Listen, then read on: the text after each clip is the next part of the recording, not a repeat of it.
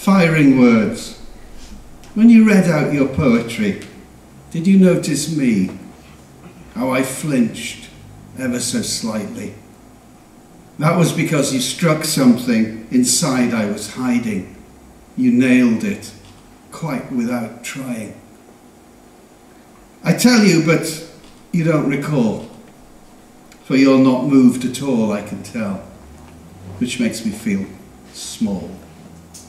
So now I fire words of my own, written for me alone. I don't care if they never hit home. Thank you.